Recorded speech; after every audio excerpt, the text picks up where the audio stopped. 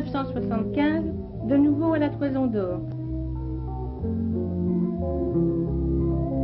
C'est gentil les cousins de venir nous voir.